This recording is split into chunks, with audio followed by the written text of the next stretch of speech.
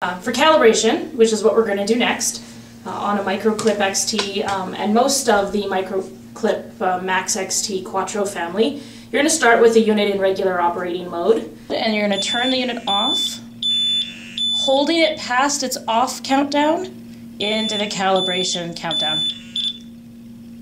And now it's going to auto zero its sensors. You'll have wanted to make sure that your gas is set up and ready to go for when it says apply gas.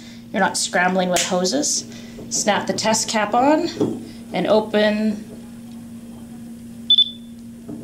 the regulator all the way. So the unit's pretty intuitive, the little icons, the detector's going to tell you what it needs next, when to apply the gas, when to remove the gas. It's going to do this for about one minute.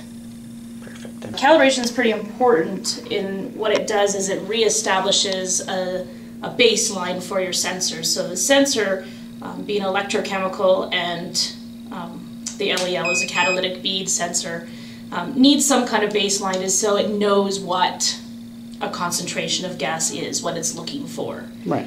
Um, so you want to make sure that you're doing your calibration fairly frequently. Um, every 180 days is the manufacturer's default. You can do it more frequently than that if you want.